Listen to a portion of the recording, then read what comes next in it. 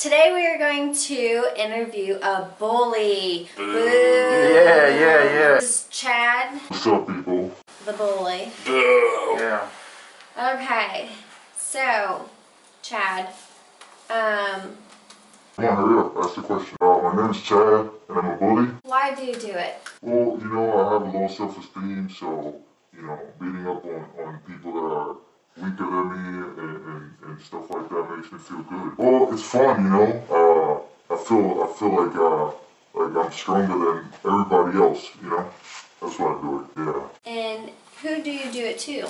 I do it to people that are weak, and, uh, usually, you know, people that can't do anything about it. And do you think this is okay? Next question. Okay, next question. Alrighty, so do you know what the show is today? It's how to deal with a bully. Yeah, yeah, yeah. Okay. Okay. Security? Yeah.